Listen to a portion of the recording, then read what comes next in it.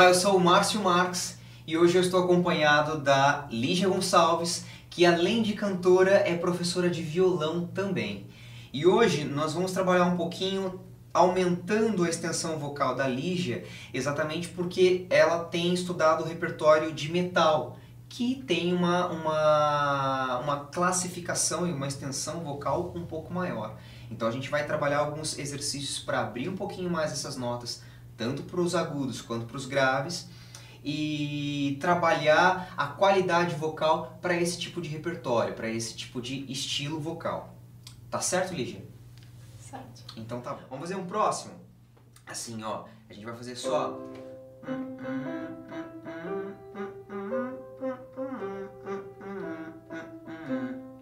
Só o fraizinho no começo de cada nota. Quase, quase como se fosse um, uma porta rangendo.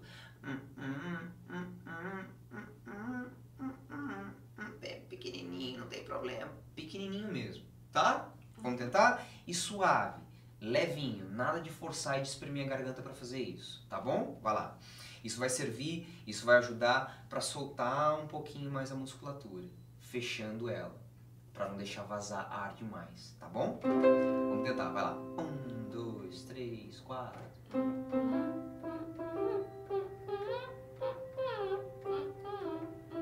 Isso, vamos chegar na voz de cabeça também.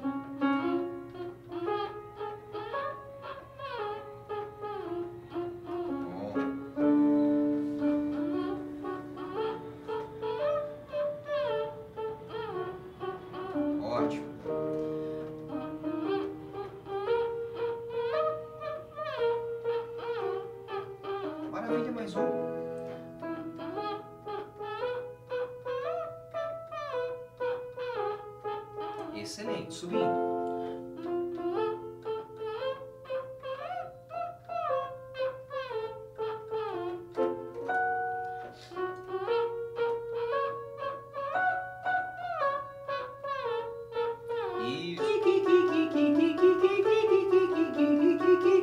Tá? Tenta manter a articulação o mais natural possível, como se você estivesse literalmente falando esse gi gi gi, ok? A ressonância automaticamente vai para o lugar correto, porque a voz de cabeça já está aí. Só tenta falar ele mais para ser confortável também, ok? Tenta lá uma vez. Dois, três, quatro.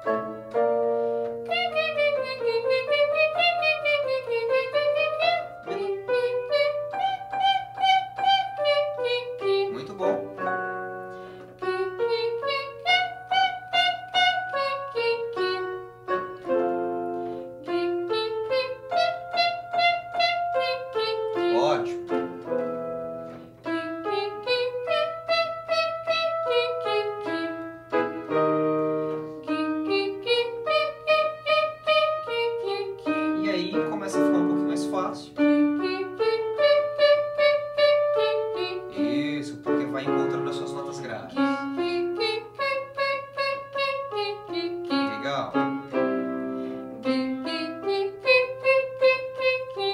Isso, como o problema é aquela nota mais alta, mais aguda, vamos dar uma alongada um pouquinho nesse vocalize, ó. Vamos pensar nele assim.